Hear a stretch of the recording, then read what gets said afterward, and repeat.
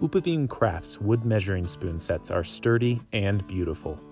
Each set is hand carved by artisans in Guatemala using reclaimed wood. These hand carved measuring spoons are unique and no set is the same. Our measuring spoon sets come in a variety of wood types, including coffee wood, maca wood, and laurel wood. Learn more at upavimcrafts.org.